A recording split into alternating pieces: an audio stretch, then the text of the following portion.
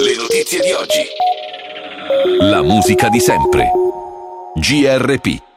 Giornale Radio Piemonte. Adele che ci fa sempre tirar fuori i fazzoletti eh, con Easy on Me qui su GRP, la radio del Piemonte. Bene, lasciateli lì i fazzoletti perché servono, perché quando vai in alta quota e sci, il naso è incredibilmente cola, ma finalmente torna a ricolare, fatemelo dire. Si riaprono gli impianti in Valsusa e in Valchisone. A questo punto diamo il benvenuto al responsabile turismo montano Alberto Surico, pronto a raccontarci tutto per Turismo Torino e Provincia. Ciao Alberto, benvenuto su GRP.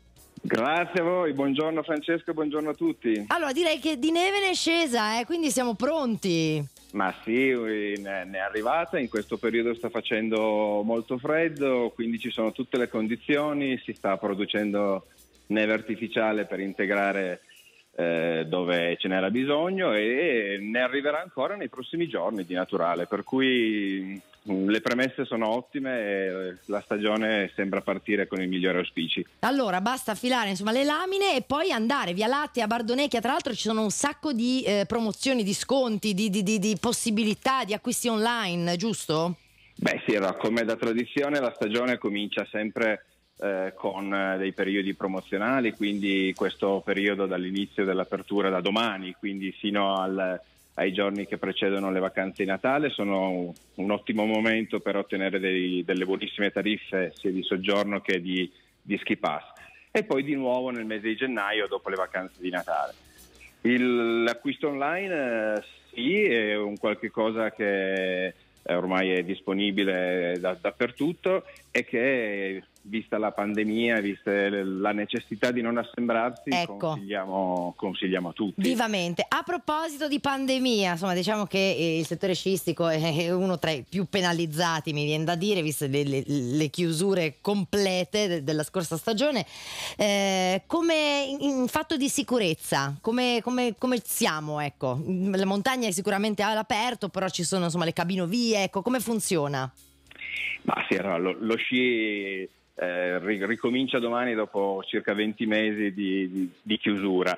Eh, sciare di per sé si fa all'aperto, per cui è una cosa non pericolosa. Certo. Eh, le attenzioni che dobbiamo avere, direi soprattutto a livello di buonsenso, oltre che di normative vigenti, sono quelle di non assembrarci troppo.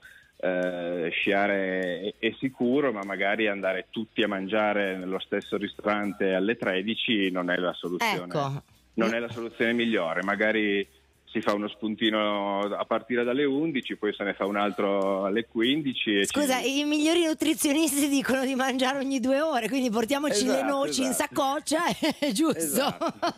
E sgranocchiamo. Dopo, dopo 20 mesi di inattività anche le gambe non vanno faticate troppo. Appunto, no? quindi, quindi piano piano, chi va piano va sano e va lontano. Adesso domanda, non è che tutti sciano, non è che tutti vanno sulla tavola, però insomma ci sono tante attività, la montagna è bella per tutti, anche per chi non mette gli sci ai piedi, ecco. Ma sì, ass- assolutamente. Eh, sia, allora, ci sono tante attività da fare sia per chi non scia sia per chi invece vuole alternare allo sci altre, altre, altre cose. Eh, lo, lo, sci di fondo, le passeggiate con le ciaspole, eh, le passeggiate con, eh, con, i cani da slitta.